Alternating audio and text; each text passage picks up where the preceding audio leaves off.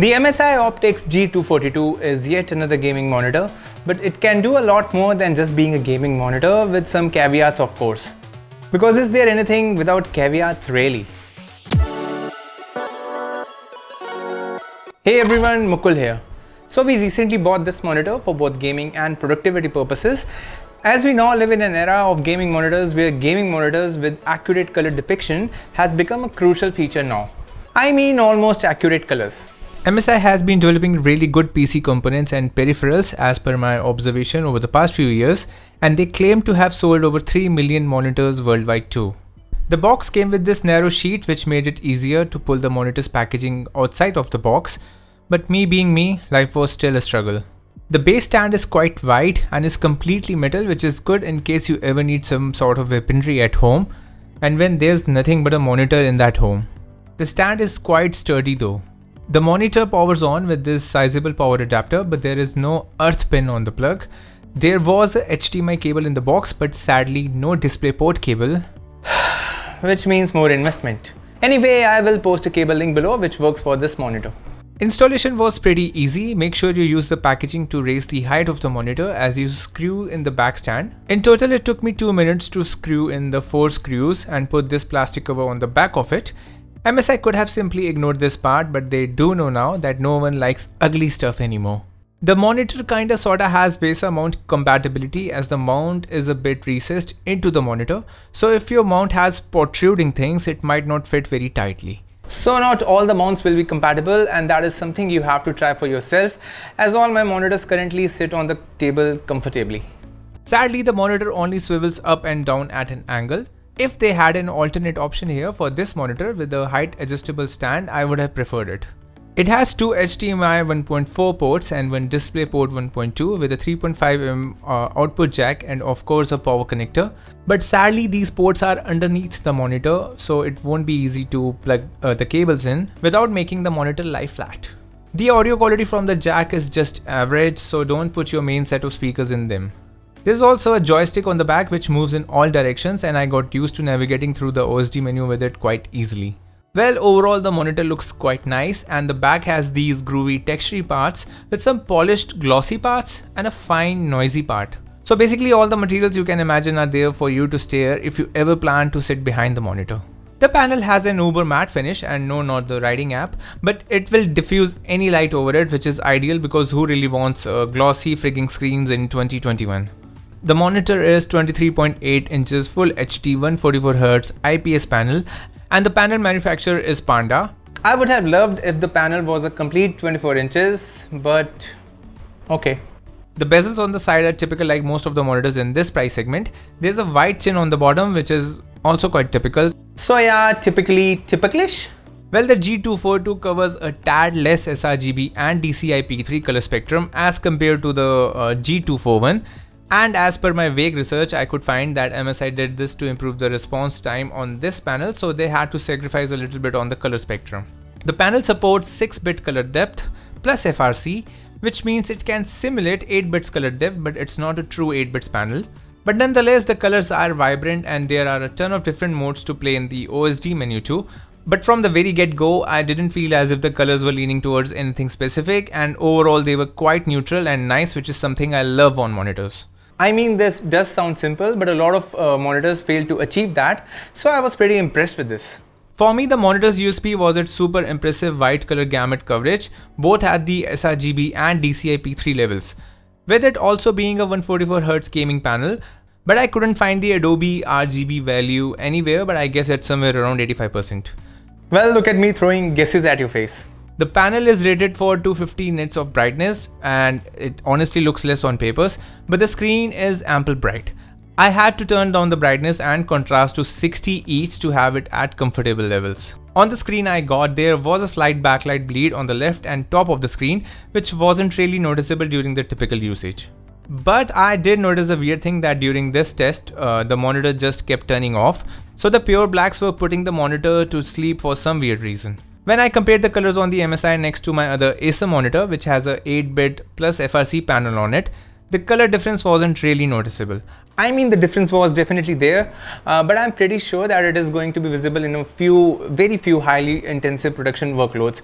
For anything lesser than that, you are really not missing on much. You can however adjust the RGB values only in the OSD menu and there is no sRGB mode. The contrast ratio looked wide enough, I had no issues with it and the viewing angles on the panel are great and I like how all good IPS panels behave now. I felt the cinema mode is definitely best for, uh, well, cinema stuff of course, as it doesn't shoot up the exposure of parts in a video which has some sort of dynamic range details like in this example. Enabling HDCR will brighten up your media content but very slightly. But the change isn't sudden and it takes a few seconds to choose the right contrast ratio for that uh, specific content you are watching. But never enable this when you are gaming as it will disable everything else. Image enhancement kind of works like adding over sharpening on the images. I prefer it to be set at either weak or off.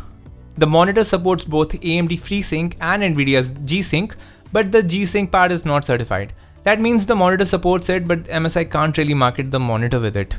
The different game modes are a bunch of presets. The FPS one just over sharpens everything and desaturates the color a lot too. And the racing one is the total opposite of the FPS and just sharpens the overall image or the game on your screen even more with too much saturation overall. The best option for me whilst gaming was RTS. That is if I want to choose a preset and not fiddle much with the settings.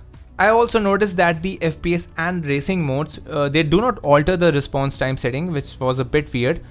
They do however change the sharpness to 2 and 4. So you can say the sharpness here is like the overdrive setting on the monitors from other brands. The night vision works like black equalizer which you can find in some LG monitors. It basically enhances the blacks and also increases the brightness of the overall image or game on the screen. This can really help in some over contrasty scenarios as this is definitely a faster way to bump up the brightness of the overall scene uh, whilst preserving some contrasting levels on it. But if you're someone who reads a lot on their screens, then I would suggest you go with the AI option, which generally look the best for uh, the text readability. The MSI G242 claims to have a 4ms MPRT. When it comes to any visual input lag during gaming, well to be honest there was hardly any which my eyes could perceive. I have spent a lot of time playing a few games I play the most and even with adaptive sync off, my eyes really didn't notice any screen tearing. But of course this case was with those 144 FPS capped games. You can see and notice that with adaptive sync on, there is definitely a slight improvement in the ghosting of the object here, but as soon as I turn on the anti-motion blur feature, the result is rather surprisingly good. But this makes the overall brightness of the screen reduce drastically and which is something which won't be liked by many gamers. I mean these are definitely fast moving objects with fast moving eyes, which also need fast moving brain cells and fast moving hands.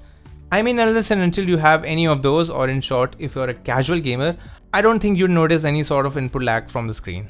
You cannot adjust the brightness once you turn on the anti-motion blur feature, but the contrast can be adjusted. Pushing the contrast to maximum does improve the overall brightness, but it's nowhere near the actual brightness capability of the panel. The perfect setting for gaming could have been a decent amount of brightness with anti-motion blur on, but the feature really works and even though it works with a major drawback, it could really be handy for many gamers as a lot of ultra competitive gamers would love to have a feature like this on a monitor in this budget. The joystick controller on the back can run these 4 shortcuts with the 4 directions, so accessing some of these features instantly without digging in deep in the OSD menu, I mean this could be very handy for a lot of users, but I have no idea what that alarm thingy does. There's also a supported software known as MSI Display Kit which can help you play with different split windows layouts and various other color settings too. You can adjust the specific red, green and blue channel for their gamma, level, brightness and contrast which does feel pretty thorough. And there's another tools tab in the end which has few options to adjust your mouse settings for some reason and also play with multi-monitor options too but you can't store or save your personal settings for different kind of use cases like how I could do on my Acer monitor. So I hope they update this as a feature in the future, uh, which is really helpful. So yeah, by the end, factoring the price for which I got it for, this option from MSI really stands strong as compared to its current competition. I wouldn't have minded uh, going for a cheaper Acer option with a slightly faster refresh rate on it, but the option of having an even better and wider uh, color gamut coverage made me invest a bit more towards the MSI and luckily by the end of it, it was the right call. So the perfect combination of having a wider uh, color gamut plus the option of uh, turning on the anti-motion blur reduction feature, which works really frigging good. Yeah, I don't see many of you going wrong with this as a good productivity and gaming monitor option. I will post a few affiliate links in the description below. You can support my efforts on the video by buying from there uh, if you choose this monitor. So do leave a like and sub with the bell if this video helped you in any way. Stay safe humans. That's all for today. MuBot out.